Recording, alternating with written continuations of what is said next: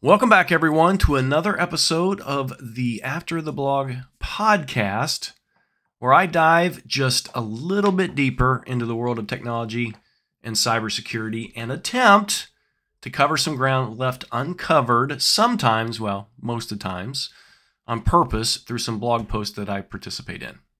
All right.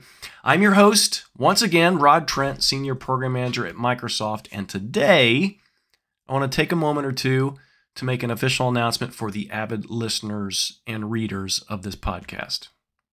All right, so I'm thrilled to announce that I've started a brand new Microsoft Sentinel SOC, Security Operations Center 101 blog series, where I'll be discussing and exploring um, the best practices, tips, tricks, all that stuff for successfully setting up, configuring, and managing your Microsoft Sentinel infused Security Operations Center.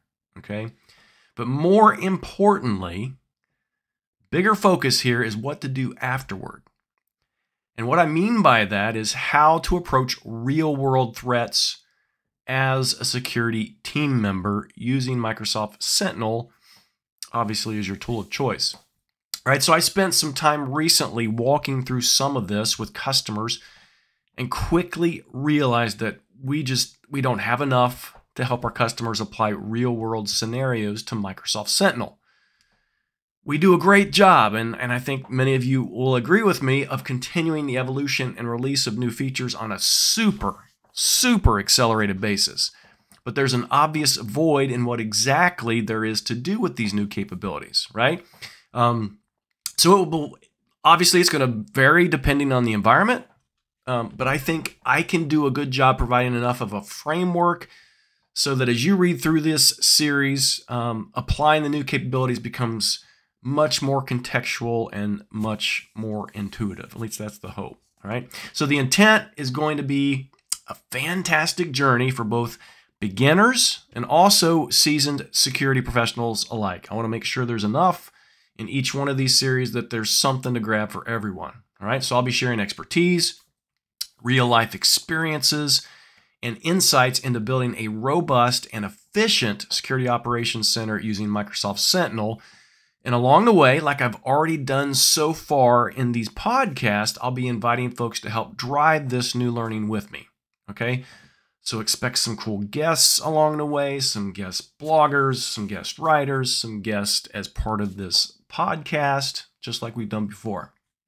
I want to make sure we have all the expertise here to help you out. So for those who might not be familiar with what Microsoft Sentinel is, right? I just I, I don't want to leave those people out. It is a cloud native security information and event management platform, right? SIEM or SIM, that's the acronym, whoever, however you pronounce that. Um, but this type of platform, it provides intelligent security analytics um, and threat intelligence for your enterprise, right? So it helps you detect, investigate and respond to security threats in real time, helping you safeguard your organization for potential breaches and attacks, right?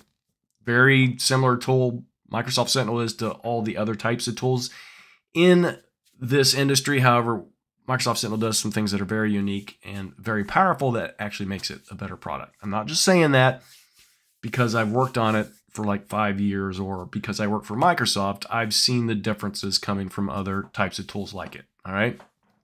So with the ongoing series, you can expect I'll be covering the basics. All right. But then once the foundations are in place, I'll dive deeper into various components of Microsoft Sentinel, such as using workbooks for threat analysis, configuring analytics rules for threat detection, and leveraging the power of automation using playbooks. And again, how all of these apply and can be used to identify and mitigate real threats. Okay, so I'm generally excited about this new blog series.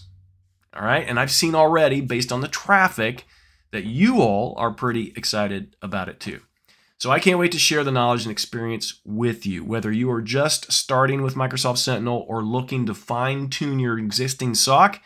This series will be a valuable resource for you and your colleagues. So obviously share it with everyone. Don't keep it to yourself. That's not nice. So stay tuned for upcoming posts in the Microsoft Sentinel SOC 101 blog series. And as always, I would absolutely love to hear your thoughts and get your feedback. If you have any questions or suggestions, feel free to reach out to me through the blog, which is rodtrent.substack.com. All right, very easy to get to rodtrentsubstack.com. Okay. And don't forget to subscribe to this podcast, share it with everyone so that you and them they'll appreciate it. I promise you'll be able to stay updated on the latest episodes. All right? So thank you so much for listening today and I look forward to sharing more insights with you in the Microsoft Sentinel SOC 101 blog series. Talk soon.